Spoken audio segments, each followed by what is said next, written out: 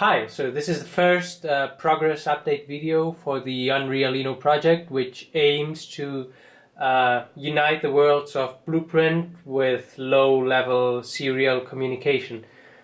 Uh, in this scene, there's just this sphere, uh, which is an, an actor. Uh, in the document, you can check why that is.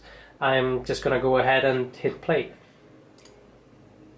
So here you can see the UI. Uh, there's actually two boards connected to the computer.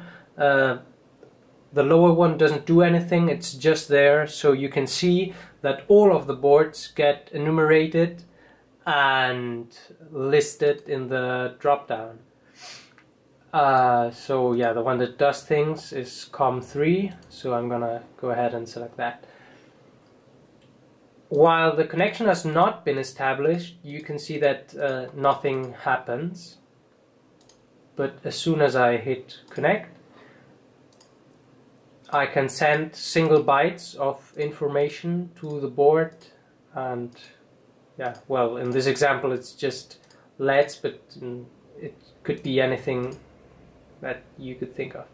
I can also hit reset and everything gets back to normal and I can disconnect in the middle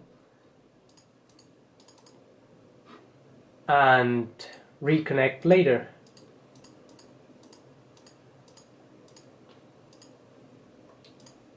Um, besides that, we can work with multi-byte communication. I'm gonna go ahead and type a message here and send it.